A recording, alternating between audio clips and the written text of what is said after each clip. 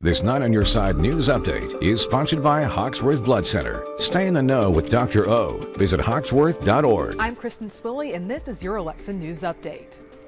Community members gathered at the Florence Freedom Ballpark to remember a homeless Northern Kentucky man. He died a week ago today.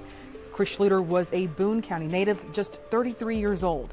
He lived under the bridge at the Mount Zion Road exit off I-75 South. Cincinnati firefighter is recovering after an early morning fire on the west side that left three people without a home. Here's a look at the aftermath. It happened just after 2 this morning in an apartment complex on Westwood Northern Boulevard in Millvale. Officials say a candle in the third story apartment sparked the fire. That firefighter was injured after slipping outside the complex. He was taken to the hospital as a precaution. Today, dozens gathered on Fountain Square to call for an end to gun violence. The nationwide group Moms Demand Action, which formed after the Sandy Hook shooting, is holding what it calls Wear Orange Weekend. Today's events included a rally and peace march to honor the lives of those affected by gun violence. For all your breaking news, weather, and sports, be sure to watch 9 Your Side at 11 and don't forget to visit us at WCPO.com. Have a good night.